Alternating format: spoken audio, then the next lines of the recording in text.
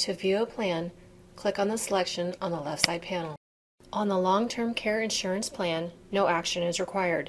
Provider information and specific plan details are displayed.